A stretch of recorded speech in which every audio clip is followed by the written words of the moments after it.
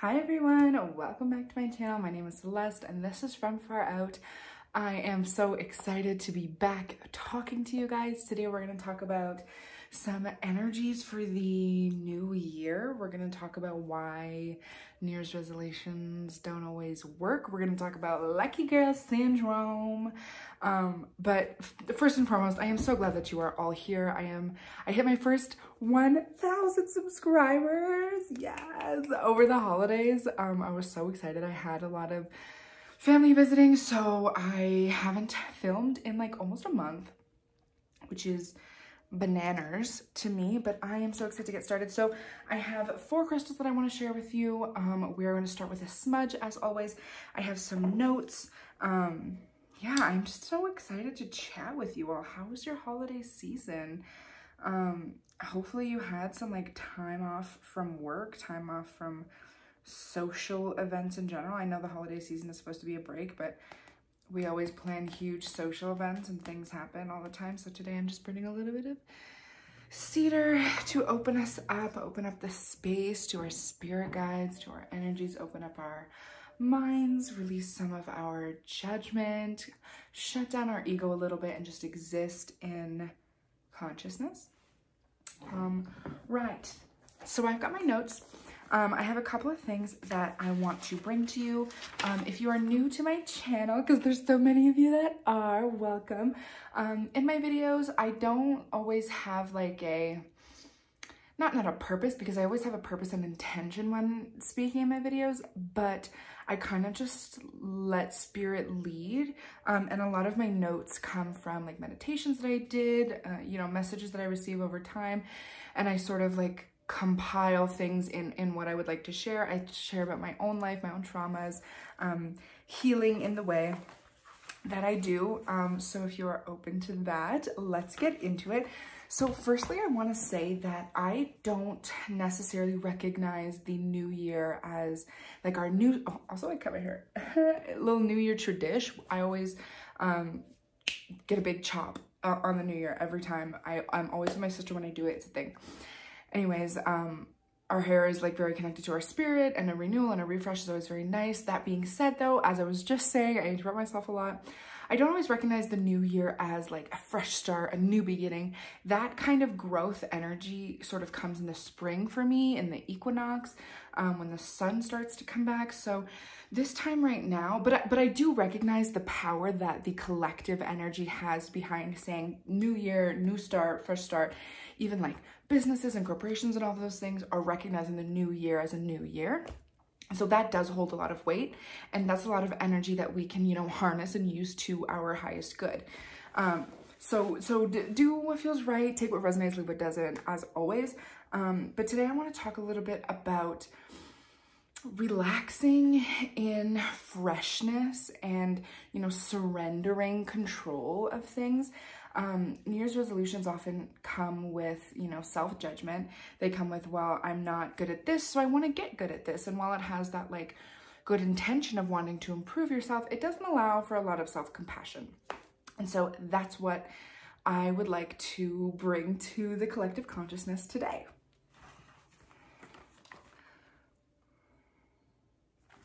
So first and foremost, um, Lucky Girl Syndrome is one of the most amazing things to hit the collective consciousness in a while. Um, if you don't know what Lucky Girl Syndrome is, it's, uh, I want to say like a trend on the internet, but it's, it's more than that. It's been like labeled, like the idea of the term lucky girl syndrome is a trend on the internet. Um, it's something that people are talking about, something that people are pushing forwards to, but the energy behind it and the intention behind it is ages, ages old. It really is just the basics of law of attraction. It is the basics of surrender and control, accepting divine grace, that kind of idea. And that's actually the last video that I made over a month ago, um, I was talking about surrendering and just accepting the divine grace that is your birthright. You don't need to work towards a, a, good life. You don't need to work towards the things you think you deserve. If you sit in this moment and you say, I am the luckiest girl in the world, I deserve all of these things, I deserve X, Y, and Z, have an intention, but still being open and, and not um, like blinding yourself to all of these opportunities, but um, having your intention and just being open and saying, I deserve the world, I deserve the beautiful life, I deserve the highest good, it will come, it will arrive, it will show up, and you will be grateful for it. So the idea of Lucky Girl Syndrome is recognizing multiple truths. It's recognizing that all things are true all at the same time. Things are always working in my favor all of the time. Even if I don't see it, even if it's hard to recognize in the moment, it is true and it is a fact. And the sooner that we can like digest that and enter that into our, our, our subconscious minds, the sooner that it will start to come true, the sooner that you will be able to recognize that this world was made for you to experience joy. All of the things that are happening in the world, all of the rules and the authorities and all those things, none of that matters because this world was created to experience joy. For all people, all of the time, but especially you, you are the most deserving person of a joyful, happy life. Now, does that mean that your that joyful, happy life is you know, devoid of heartbreak and sadness and depression and all of these things. No, it doesn't. It th Those things still exist and the shadow work um, from our trauma and from our past selves, our, our karmic um, ties, all of those things still have to be worked through. However, amidst all of that and as much as all of that, there is a divine grace that only wants you to experience joy.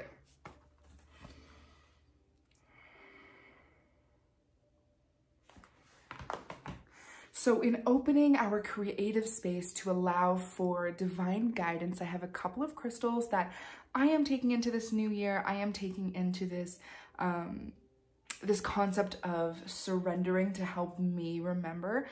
Um, also, so I'm going to talk about the crystals, but I, I just want to have a very quick disclaimer. This is not a 101. I am not a like rule maker on crystals. I'm telling you my experience with the crystals, the energies that I pick up, the intentions that I've programmed some of these crystals with. Um, so, so this is, this is only to inspire some folks to maybe start your own journey in surrendering, um, get a little bit of uh, inspiration or tips from the things that I'm doing. But if it doesn't res resonate with you and you do not like the things that I'm saying about these crystals, if it's your favorite crystal and you don't feel like I'm speaking about it right, I apologize.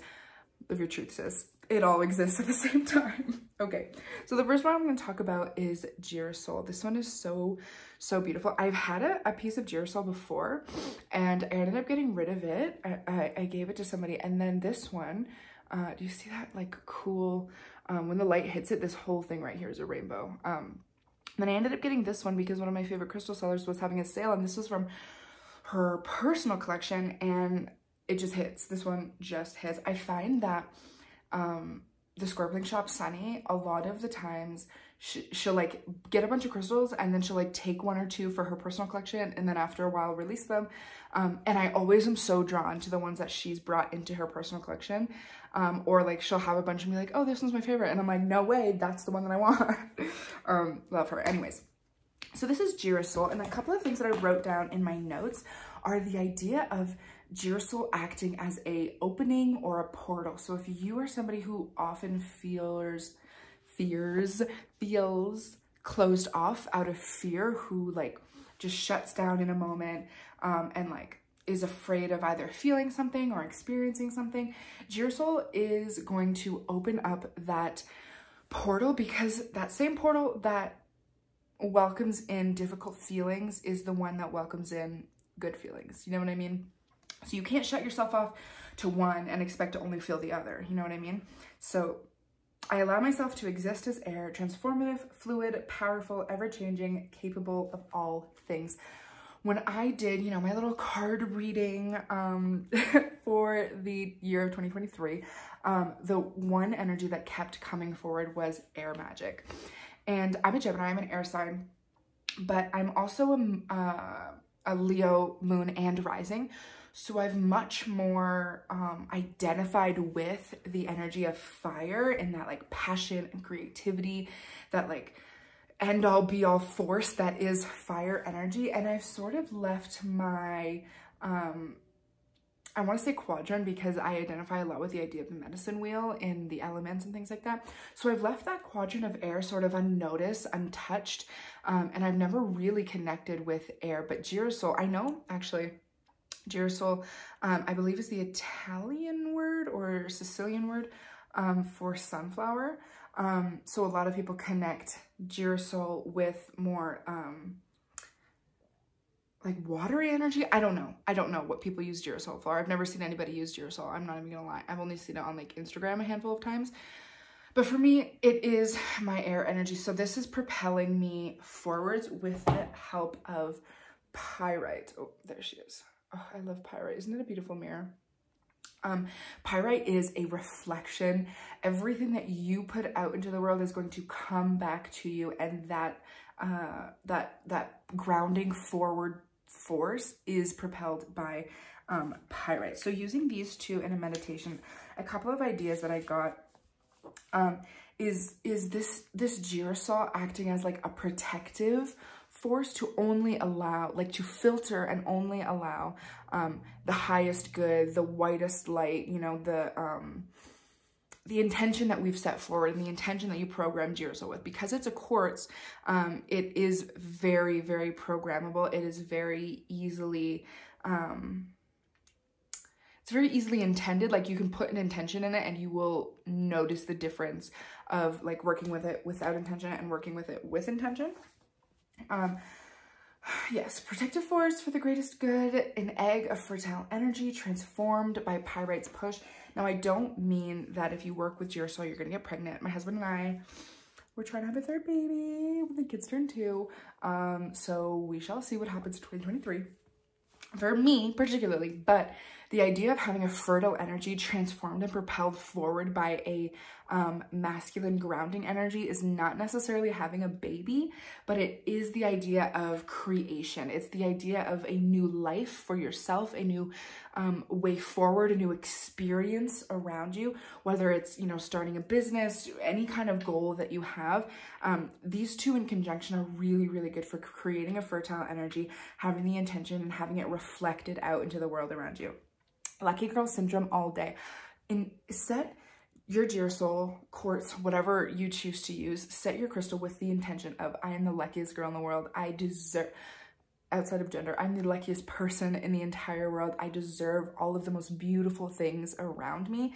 Have it propelled forward by this reflective energy, this incredibly abundant energy, and you are going to change your life. You are going to change your experience. I promise you, but it's all about the intention you set. And next up, the next crystal that I want to talk about, this has a lot to do with the new year and our new intentions. So this is sulfur quartz. It is so, so, so gorgeous. So you can see most of the sulfur in like this piece here where it's yellowy. And then this piece here that's clear and has a little bit of orangey iron in it. It's really, really beautiful. So sulfur quartz is all about clarity. So clarity of intention, clarity of um, uh, like removing disillusion. Um, if you are having blockages in your own experiences, so if you're feeling like guilt about a certain thing and you're having difficulties like truly believing that you deserve the grace that is your birthright, um, if you're having like you know, imposter syndrome is something that I, I experience so, so, so, so much. Sulfur quartz is, when programmed with the intention to do so, um, it is going to help you clear all of those things that are just not propelling you forward. All of the things that um, are being filtered through the girasol that are being held back from you um, outside of what is the greatest good, you're going to clear that entire force field, your aura, your space, your existence with your sulfur quartz.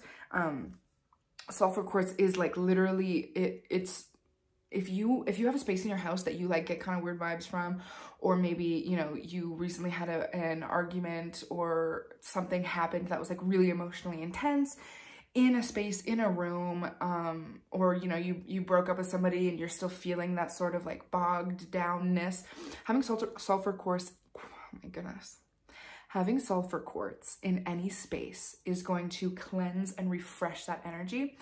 And being in this time, you know, before spring, before the new seeds are planted, but in the new year where you're like expected by society to start something new, sulfur quartz is the greatest for this time because it's it is a relaxation and freshness it is the end of a binging and purging cycle, the end of an addictive cycle. It is just accepting yourself in the clearest and freshest state. And, and binging and purging, actually, I'd like to get into that for a quick moment. The idea of binging and purging is the idea of addiction. And I know that for me, I struggle with addictions. I struggle with shopping addiction. I struggle with a food addiction. Um, so that's really all I can speak on. If you struggle with a different kind of addiction, you may find some inspiration from this, but I don't mean to speak on your experience. But for me, the idea of binging and purging when it comes to shopping is like binge buying, you know, doing all these crazy hauls, spending hundreds and hundreds and hundreds of dollars. And then in a few months, I go, well, I have too much stuff. So I have to like purge my closet. I have to declutter my makeup collection. I have to declutter my crystals, like all of the things. And then I'm stuck in this empty zone of like, I'm missing this, I'm missing that. I'm not used to not being surrounded by things. So I buy, I buy, I buy. And it just, it continues that cycle. So bringing in sulfur quartz is is going to be a refresh to that cycle um understanding that when we do declutter our things which is helpful and and, and a good time to do it right now um when we do declutter our things and we open our space we can just relax in that freshness not every shelf has to have something on it not every wall has to hang something um you know, we, we don't need a million things in our life. For me, that's my experience with, with shopping. And the same thing with food. A lot of people at this time are doing diets and going to the gym and and while, you know, like conscious consumption of food and, and, obviously exercising and moving your body is incredibly important, it's it you, it's also that swing pendulum of like super restrictive diets, super heavy working out, and then you go into binging of I don't care anymore, it's not sustainable, I can't do it, I'm just gonna eat until I die. And then we just go back and forth with this restrictive and um, and binging energy and then bringing the sulfur quartz in to sort of balance out that swinging pendulum and understand that like some days I'm going to eat more calories than I want to, and some days I'm gonna really kill it in the gym, and that's just how it's gonna be. This is, you know, the balance of my life. I don't exist in these extremities all the time. There is a center, you know? Right, so on that note, um, the final crystal that I wanna talk to you about that I'm bringing in the new year with me. I'm sure you all recognize this beautiful stone. This is rose quartz. I like to use rose quartz when I have goals, when I have intentions, when I have purpose, because rose quartz is all about self-compassion and lack of judgment on the self. And when we set goals, sometimes it, like I said in the beginning, it comes from a, a place of self-judgment. Um, so the idea of having rose quartz connected to our intention will remove the idea of I'm bad right now, so I need to fix it. That's not what a goal is meant to do. A goal is meant to say, I'm existing in this place right now, and I want to exist in this place. So I'm going to move to that place. I'm going to do the things I need to do to get into this place. But when we keep our rose quartz with us, it reminds us that the place that we are right now is not bad. We are not bad people. We are not losers or lame or fat or ugly or whatever, whatever it is that you think that you are, you are not. Um, so releasing that self-judgment, releasing the idea of if I don't meet my goal, I'm a loser, I'm a failure. Releasing the idea that the place that I am now is not good enough. Lucky girl syndrome, you are good enough in this moment. Not in 10 minutes when you have your coffee and you're in a better mood. Not in five years when your business is booming and everything's perfect. You are good and perfect and amazing and the luckiest person in the world right here and right now. So with all of that, I will leave you with the idea that in the spring, the seeds will come, new growth will arrive, but for now, let's just relax in this fresh state in our clarity and we will propel forward when the time is right. So thank you so much for joining me and I will see you in the next one. Peace and love from far out.